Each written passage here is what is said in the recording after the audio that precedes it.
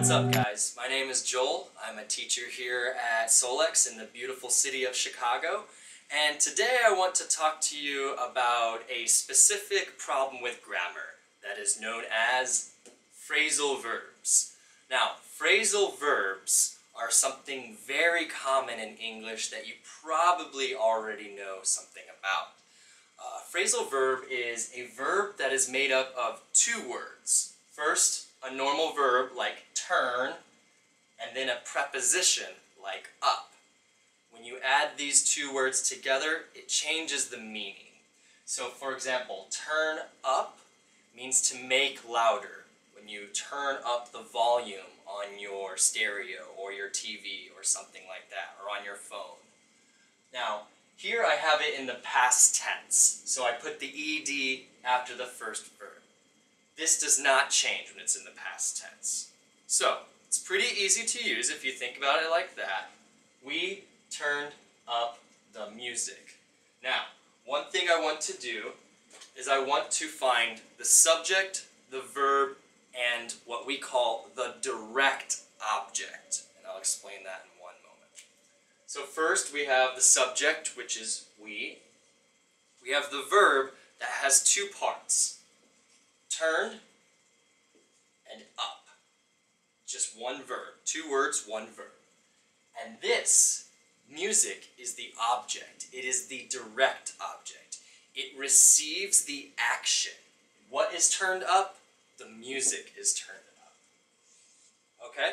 So that's the easy way to use these phrasal verbs. But there's another way that we do it all the time. It's very, very, very common. We can also say, we turned the music up.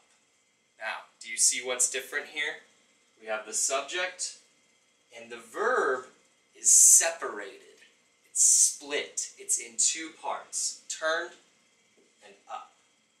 And the direct object is here. The music is in between. It is in the middle of the phrasal verb. Now, these sentences mean the exact same no different at all. Now, there is one more rule where you have to do something special when you use pronouns, and we'll talk about that next. Okay, so the next part involves pronouns. So let's talk about what is a pronoun. A pronoun is a small word that replaces a noun.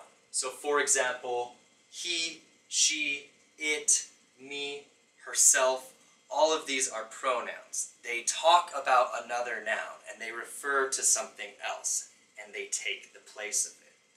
Now, when we have a pronoun and a phrasal verb, the pronoun must go in the middle of the phrasal verb. That might sound confusing. Let's look at an example. The music was too quiet. We could not hear the music was too quiet. We weren't having fun. We were trying to party. It was too quiet. So we turned up it. Now that is incorrect. That does not sound correct to anyone who speaks English. Why? Because here we have a pronoun. And the pronoun must go in the middle of the phrasal verb. So the correct way to say this is, so we turned it up. This is very important. It sounds very bad and it's usually incorrect, especially when writing. If you write a pronoun after the phrasal verb, it must go in the middle. So again, let's look at this. We have the, well, let's forget about this part of the sentence. We have the subject, you have the verb, here you have the object, and it is a pronoun. So it must go after the first part of the phrasal verb. And then finally you have the preposition part of the phrasal verb.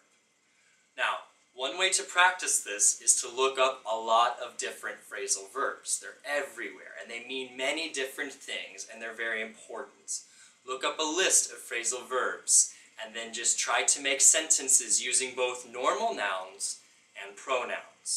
And remember, when you use a pronoun like he, she, it, or me, something like that, then they must go in the middle of the phrasal verb. Cool. I hope that helps, guys. Uh, if you like this video, as always, please click the like button. If you want to see more grammar videos, vocabulary videos, culture videos, whatever, uh, subscribe to Solex, and we will show you more. Thanks, guys. Have a good day.